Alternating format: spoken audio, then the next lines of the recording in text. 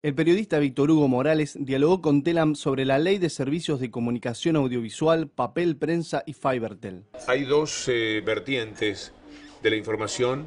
Una tiene que ver con la sangre que viene pegada al papel y esto está en manos de la justicia y es lo que corresponde esperar qué es lo que la misma tiene para decir.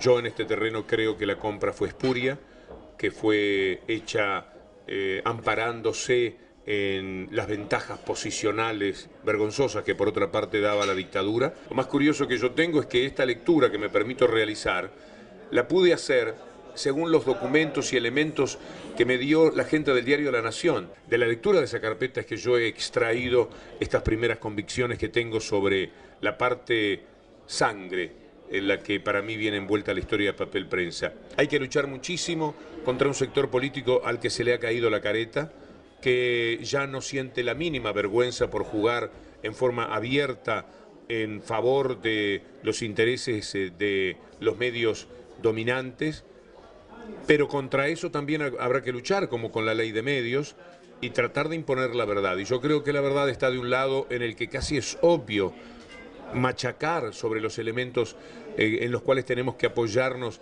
para razonar. Es muy sencillo, no puede el papel diario estar en manos de dos diarios.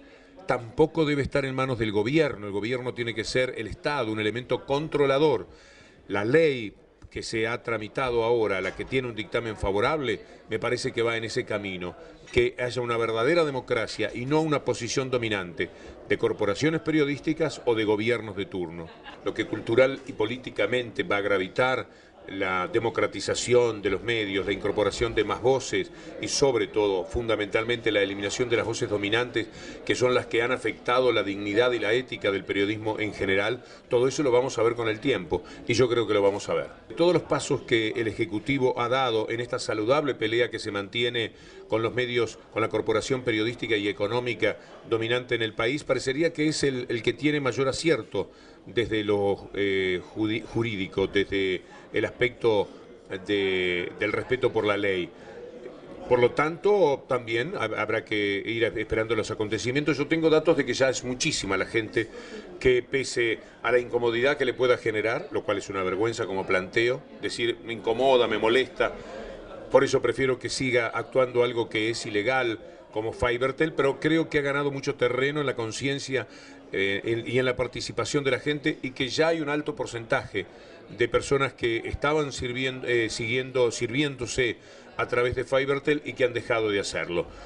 Habrá que ver el énfasis que el gobierno pone para que esto se cumpla. A mí me parece que todavía hay un laissez-faire, laissez-passer que eh, puede afectar el empuje que la medida tiene y que habrá un momento en el que el gobierno diga, bueno, ahora sí, el gobierno, el estamento gubernamental que corresponde, el que ha tomado la decisión, ahora sí, le decimos a quienes están sirviéndose de algo ilegal que pasó el tiempo que teníamos previsto y hay un último plazo para no seguir sirviéndose Internet a través de la ilegal, mm, eh, eh, del, ilegal funcionamiento de eh, una empresa, como es en este caso Fibertel.